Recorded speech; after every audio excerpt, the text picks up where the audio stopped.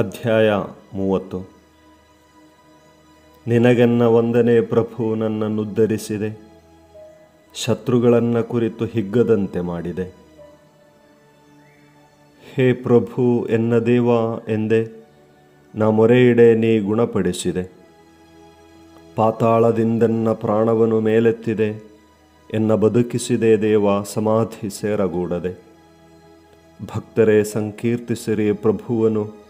ಮಾಡಿರಿ ಆತನ ನಾಮಸ್ಮರಣೆಯನು ಆತನ ಕೋಪ ಕ್ಷಣ ಮಾತ್ರ, ಆತನ ಕೃಪೆ ಜೀವನ ಪರ್ಯಂತ. ಇರುಳು ಬರಲು ಇರಬಹುದು ಅಳಲು, ನಲಿವು ಉಲಿಯುವುದು ಹಗಲು ಹರಿಯಲು.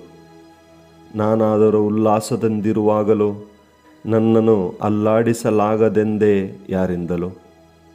ಪ್ರಭು, ನಿನ್ನ ಕೃಪೆ ನನ್ನ ಗುಡ್ಡಕ್ಕೆ ಅಡಿಬಂಡೆ, ನಿನ್ನ ಮುಖ ಮರೆಯಾದುದೇ ನಾ ಕಳವಳಗೊಂಡೆ.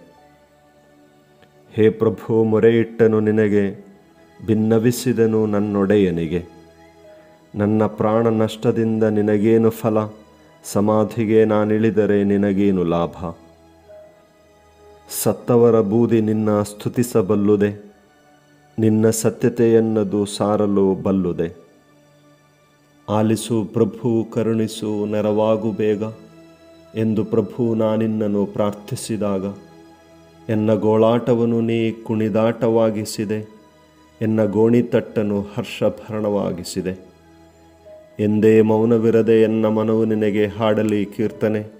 ಹೇ ಪ್ರಭು, ಎನ್ನ ದೇವ, ನಿನಗನ್ನ ಅನಂತ ಧನ್ಯ ವಂದನೆ